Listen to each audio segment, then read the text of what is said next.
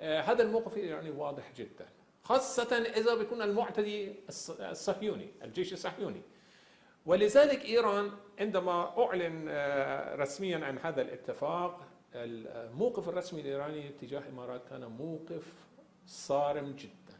بأنه أي اعتداء إسرائيلي على إيران أحد ضحاياها بيكون الإمارات. هذا لا شك فيه. إيران يرد على إسرائيل مباشرة.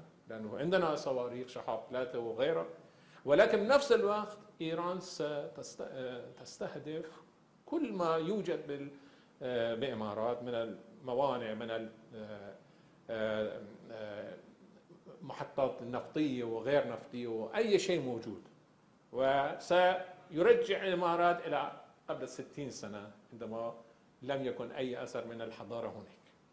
هنالك تواجد للجمهورية الإسلامية من خلال قوات فيلق القدس في العديد من البلدان بلدان المنطقة برأيك ما هي غاية إيران من هذا التواجد؟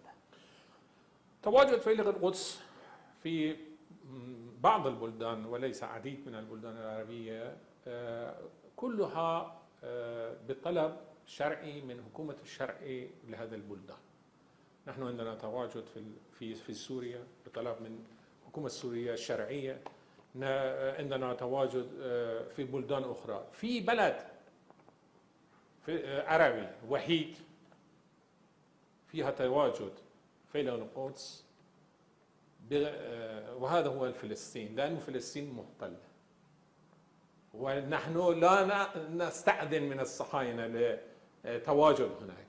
هذا هو آه، ونفتخر بهذا لأنه نحن ندعم الشعب الفلسطيني والمقاومة الفلسطينية في بلد محتل تحت احتلال الصهيوني. ولكن في بقية البلدان أينما يوجد تواجد في هو تواجد قانوني.